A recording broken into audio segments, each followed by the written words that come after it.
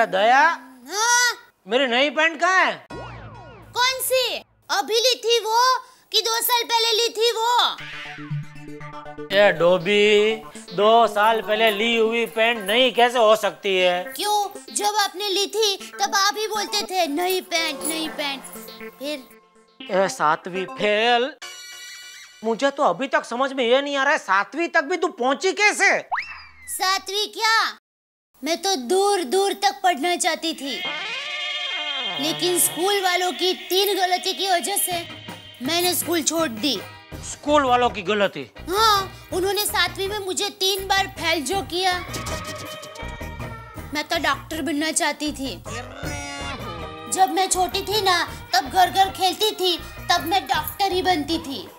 और सब लोग मुझे दीदी बुलाते थे। दीदी। दया। ए कंपाउंडर तेरा दवाखाना बंद कर और मुझे अभी जो ली है वो नई पेंट मिल सकती है? वो तो मैंने दान में दे दी। नई पैंट? हाँ। क्यों? क्यों क्या? बापूजी ने कहा है ना कि हमेशा नई चीज़ ही दान में देनी चाहिए।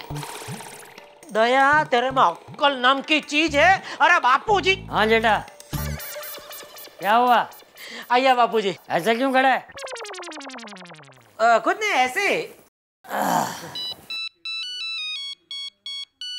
हाँ। बोलो नोटू काका। हैं? अच्छा। क्या बात कर रहे ओ हो हो हो अरे वाह ये तो सुन के मज़ा आ गया। थैंक यू नटू काका थैंक यू अरे बापू जी सुना आपने? हाँ सुना। ये बाबू चाक फ़ोन तेरे पास था तो मुझे कैसे सुनाई देगा? सॉरी सॉरी बापूजी नटू काका कह रहे थे एक पार्टी का दस टीवी का ऑर्डर था। तो पार्टी ने ऑर्डर बढ़ाकर दो सौ टीवी का कर दिया बापूजी है? अच्छा। मतलब एक ही दिन में दस लाख का फ़ायदा। अरे वाह। देखी देखी दान की महिमा देखी।